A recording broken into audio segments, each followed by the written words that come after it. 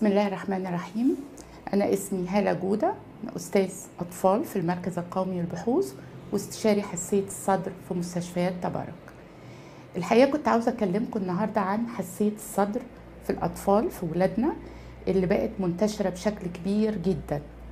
ومهم قوي قوي إن إحنا زي ما شخصنا مظبوط وزي ما كتبنا علاج مظبوط ننفذ العلاج ده بطريقة صح ونديه للاطفال بطريقة صح وإلا يبقى آه، ضيعنا عليهم فرصة كبيرة قوي للعلاج. الأول إيه هي حساسية الصدر؟ هي عبارة عن إن أنا عندي صفة وراثية بحمل الصفة الوراثية لأنه الشعب الهوائية بتاعتي حساسة زيادة وبالتالي لما بتعرض لأي مؤثرات أو مهيجات أو بنسميها مثيرات حساسية بيحصل انقباض وضيق في الشعب الهوائيه ومن ضمن الحاجات إن يبتدي. البطانة بتاعه الشعب الهوائية دي تفرز كمان آآ آآ زي ما بنقول ميوكس أو مخاط زيادة فيساهم في إن هي تضيق أكتر. يبقى أنا المشكلة في النهاية وصلت لإنها بقت ضيقة قوي وبالتالي ما بقاش الطفل ده عارف يتنفس.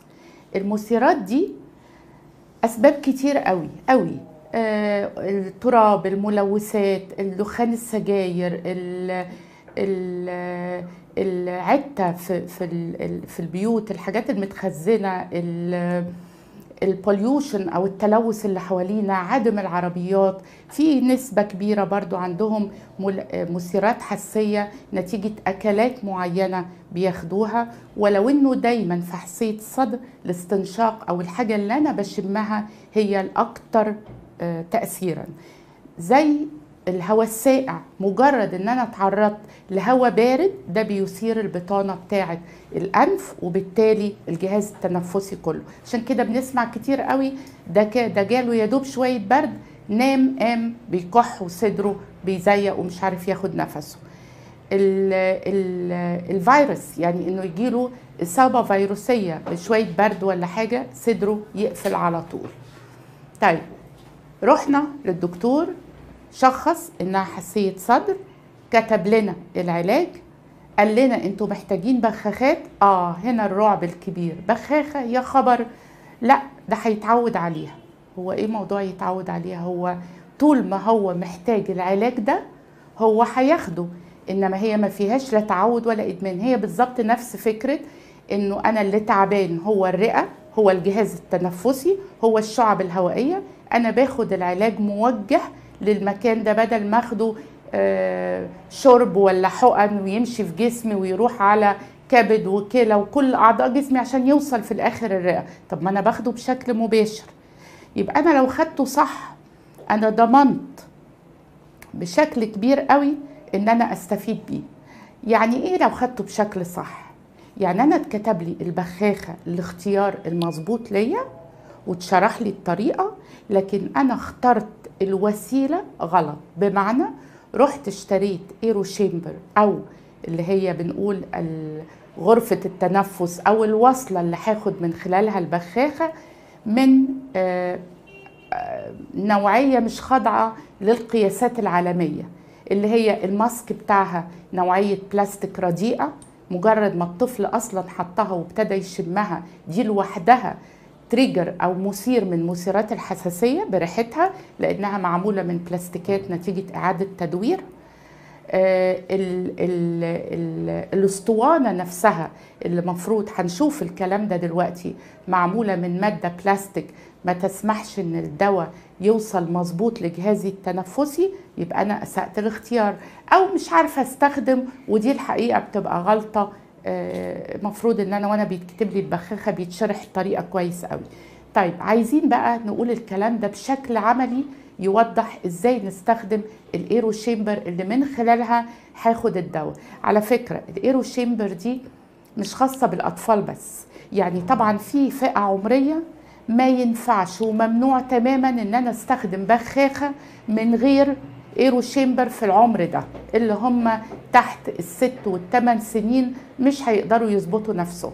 لكن إحنا ابتدينا دلوقتي نقول حتى الكبار حتى اللي يعرفوا ياخدوا البخاخة بالفم الأفضل ياخدوها عن طريق ال aerochamber لأن ده هيخلي توصيل المادة الفعالة ضعفين ال- اللي هيوصل لو أنا استخدمتها مباشرة بالفم. طيب إحنا البخاخة اللي بنستخدمها مع ال aerochamber إيه هي؟ البخاخة دي اسمها metered dose inhaler وهي دي اللي ينفع أستخدمها لأن في بخاخات تانية ما ينفعش أحطها في aerochamber. البخاخة دي مفروض إن أنا لما بضغط كده بتطلع المادة الفعالة. الضغطة دي ممكن أخدها في الفم مباشرة لكن محتاجة مني أظبط تماما الضغطه ما بين أنا اللحظة اللي ضغطت فيها واللحظة اللي بستنشق فيها الرذاذ أو المادة الفعالة دي. أنا طفل فمش هقدر أظبط دي ابدا وبالتالي أنا اتحسبت عليا إن أنا باخدها لكن هي فعليا بتترسب في الفم والبلعوم وما وصلتش الرئة. طب أنا لو واحد كبير وناضج وقادر كويس إنه ياخدها ويظبط نفسه لكن عنده أي مشاكل في المفاصل. فما يقدرش إنه يعمل الضغطة دي مظبوط. برضو لازم أستخدم ب aerochamber علشان أظبط نفسي. يعني في النهاية وصلنا إن ال aerochamber دي حاجة بتخلينا توصيل المادة الفعالة أحسن بكتير قوي عمالين نقول aerochamber aerochamber إيه هي دي بقى؟ هي عبارة عن الجهاز ده اللي هو يسمح لي. إحنا عندنا مقاسين على فكرة. عندنا واحد واتنين. واحد ده المقاس الأصغر واتنين هو الأكبر. هنبتدي باتنين. هو بيجي مغلف كده. في الماسك وفي الاسطوانة نفسها دي اللي المفروض إن أنا هركب فيها البخاخة. آدي الماسك ركبناه. مهم جدا زي ما قلت لكم المادة اللي مصنوع منها ال- المنتج ده أو ال aerochamber اللي أنا هستخدمه لابني. لأنه ال mask لازم يكون طري لأنه بيضمن لي إن أنا لما أحطه على وش الطفل يبقى محكم من غير ما اضايقه ومن غير ما يبقى في حاجة حرفها حاد مضايقه وريحتها وحشة أصلا بتثير الحساسية عنده. مهم قوي إن البلاستيك المصنع منه المادة الأسطوانة دي يكون بنسميه non electrostatic يعني ما, يس ما يخليش المادة اللي أنا هبخها هنا تلزق على جدار البلاستيك ده من جوه وبالتالي يبقى دي اللي أنا بستنشقها فباخدها صح لأنها لو لزقت على البلاستيك على الجدار ده من جوه خلاص هي آه، ال- ال- الجهاز احتفظ بيها وابني ما وصلوش حاجة. okay؟ طيب إحنا هنستخدمه إزاي؟ آدي البخاخة إحنا لسه اشتريناها جايبينها جديدة خالص فلازم أول مرة لاستخدامها أعمل حاجة اسمها priming أو أجهزها للاستخدام. إزاي؟ أرج كويس قوي قوي ودايما إحنا بنحب نقول للمريض كلام محدد لأنه كويس قوي دي يعني إيه؟ أقول له يعني رجها في البداية عشر مرات. okay؟ سهلة.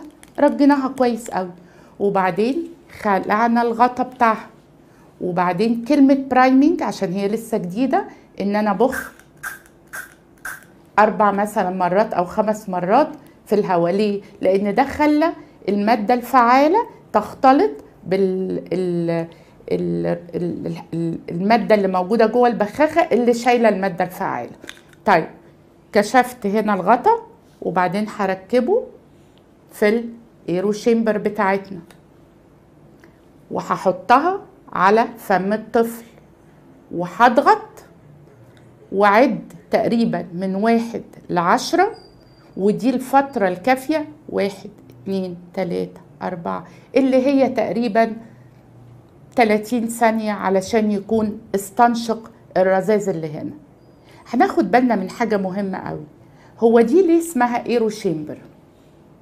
لأن فيها أو valved aerochamber بالتحديد لأن فيها صمام بيخليني وأنا باخد النفس لجوه اللي هو الشهيق باخد المادة الفعالة اللي موجودة هنا. لكن وأنا بخرج النفس بتاعي بيخرج من خلال الصمام ده. وبالتالي ما بقاش عمالة الهواء داخل طالع على نفس المكان أو نفس الأسطوانة دي. طيب حطيناها واستنشق عديت من واحد لعشرة وخد خلاص بشيلها طيب الجرعة اللي موصوفة له مرتين بختين مثلا في المرة. ينفع إن أنا أضغط الضغطتين مرة واحدة؟ لا ما ينفعش. لأن ده معناه إن المادة الفعالة في تاني ضغطة ما خرجتش. لازم أدي فرصة تقريبا 30 ثانية اللي هي تقريبا الفترة اللي هو خد فيها أول بخة قبل ما اضغط تاني وياخد تاني بخة واعيد نفس الخطوات. اللي إحنا هنشوفها عملي دلوقتي. طيب. مكتوب لي نوعين بخاخة. مكتوب لي موسع شعب ومكتوب لي بخاخة كورتيزون اللي هي بنسميها ال control أو العلاجية أو اللي مفروض إن أنا هفضل أخدها باستمرار. كل يوم. دي باخدها أو البخاخة اللي هي موسع الشعب دي باخدها وأنا تعبان بس. وأنا مقفول بس وأنا بزيق بس وأنا بكح بس. إنما وأنا سليم أنا ماشي كل يوم ببخاخة علاجية اللي هي بنسميها كورتيزون الاستنشاق inhaled corticosteroid تحت أي اسم تجاري موجودة معانا لكن هنستخدمها بعد دايما موسع الشعب.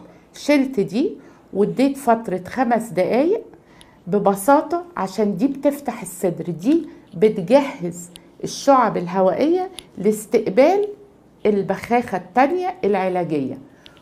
وسبت الطفل خمس دقايق وبعدين حطيت النوع التاني okay؟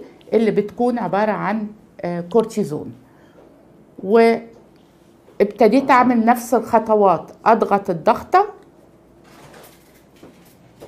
وأحط الماسك على الطفل وأعد من واحد لعشرة يستنشق وبعدين أشيلها ولو مكتوب له بخة تانية أعيدها تاني.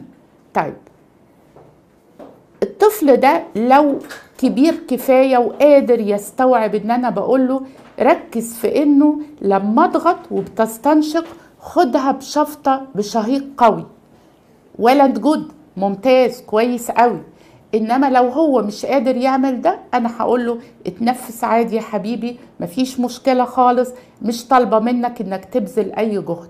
ودي برضو الحقيقة من المميزات التانية لل aerochamber لأن أنا مش طالبة حد فاهم كويس قوي ولا متعاون وبالتالي أنا بقدر أستخدمها في أي فئة عمرية سواء فاهمني قادر يستجيب لتعليماتي.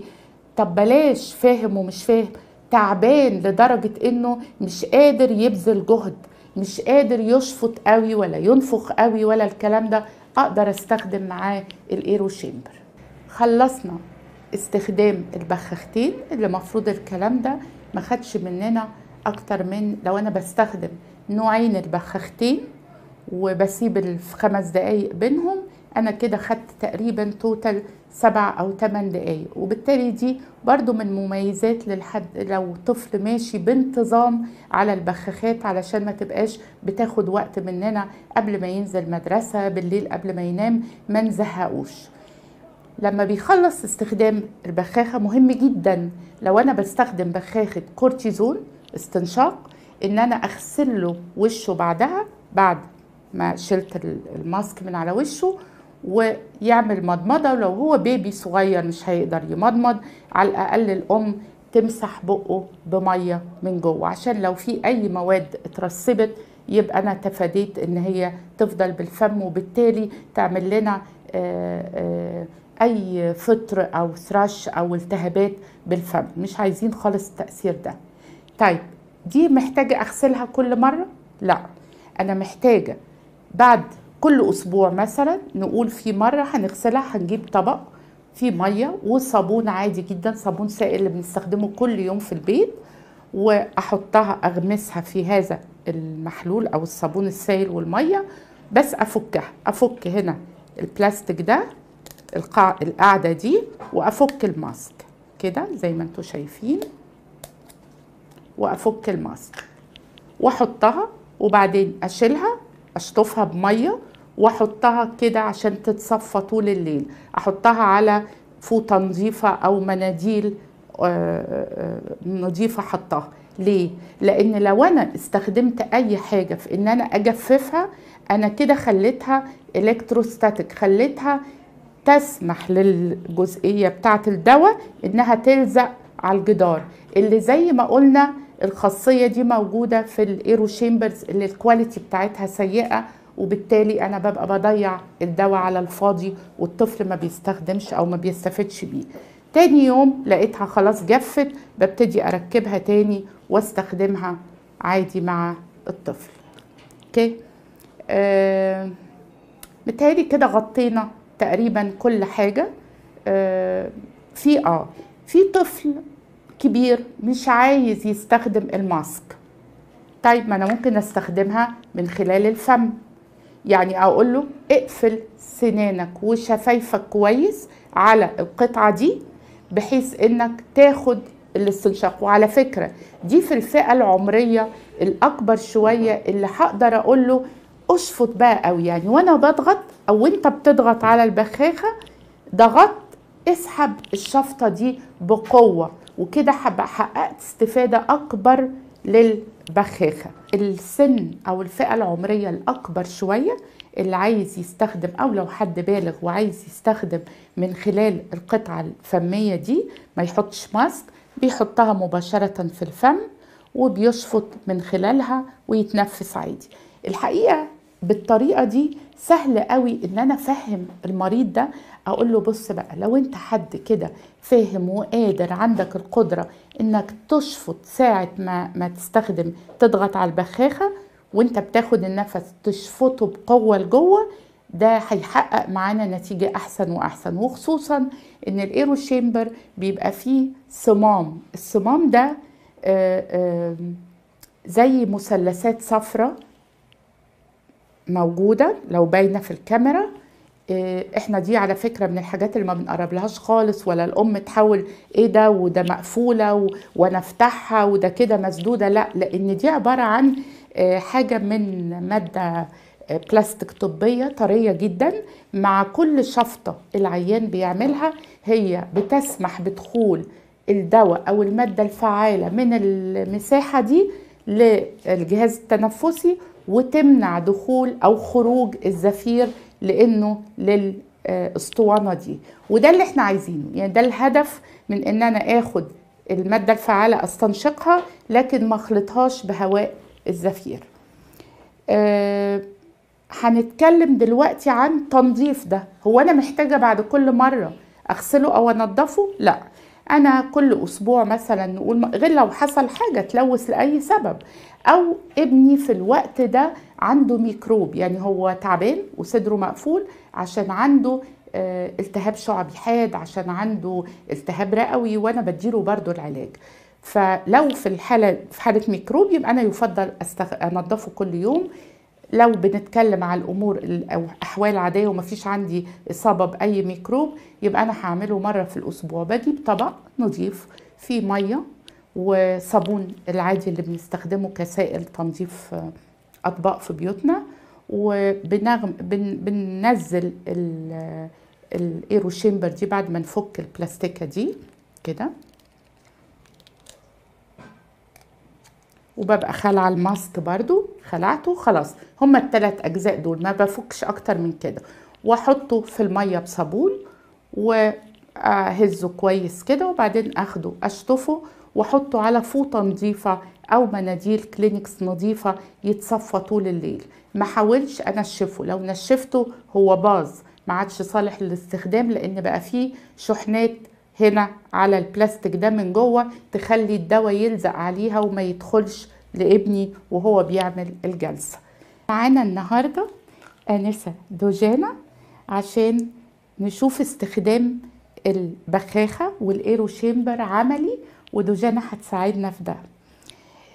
هنفتكر تاني سوا إحنا بنرج البخاخة كويس قوي وهنقول إن إحنا نقعد نرجها خمس مرات تقريبا. وبعدين نركبها في ال AeroChamber ما ننساش إن إحنا فتحناها الأول في غطا شلناه قبل ما نحطها في ال AeroChamber دوجانا هنحط دي على وشنا بشكل محكم والحمد لله الماسك مادة السيليكون الطرية بتبقى آه، بتدينا فرصة إن إحنا نحطه بشكل ثابت وطري من غير ما يضايق الطفل. وبنضغط وبنعد واحد اتنين تلاتة أربعة خمسة ستة سبعة تمانية تسعة عشرة. الفترة دي كافية إنها استنشقت بشيلها عشان الطفل ما يتضايقش. مكتوب لي جرعتين. يبقى أنا هضغط هكرر نفس الخطوات تاني أوكي؟ وأحطها وأضغط والطفل برضو يستنشق. دايما نخلي بالنا ارفعي وشك كده أيوة ميرسي يا حبيبة قلبي. آه، دايما نخلي بالنا إنه لازم يكون محطوط بشكل محكم. عشان كده إحنا عندنا مقاسين فبنختار المقاس الأنسب لولادنا حسب سن الطفل. okay؟ طيب عندي بخاخة تانية اللي هي الكورتيزون هستخدمها. فبشيل دي وبستنى خمس دقايق لأن دي اللي بتفتح صدرنا دي اللي بتفتح الطريق لأنه أحط الكورتيزون اللي مفروض إن هو العلاجي اللي يعالج الالتهابات اللي موجودة. وبركب برضو البخاخة التانية وبستخدم بنفس الطريقة. ما طلبتش منها أي مجهود زيادة. ما طلبتش منها تشفط بطريقة معينة وبالتالي أنا مش محتاجة تعاون الطفل معايا ولو تحسبوها هتلاقوا الوقت تقريبا ما خدناش دقايق في الكلام ده كله ما كملناش دقيقتين. آه، أرجو إن إحنا كده نكون شرحنا بشكل وافي إزاي بستخدم البخاخات من خلال الإيرو شامبر. وعايزة أقول تاني يا جماعة لما حد يتكتب له بخاخة ما يتخضش وما ينزعجش وما يخافش لأن بالعكس دي الطريقة المثلى لعلاج الحساسية. دي اللي بتوصل العلاج بشكل فعال بأقل آثار جانبية بأقل جرعة ممكنة بأكثر فاعليه لصد- لحساسية الصدر في الأطفال. ف آه، يا رب تكون المعلومة وصلت والصورة واضحة للجميع. شكرا.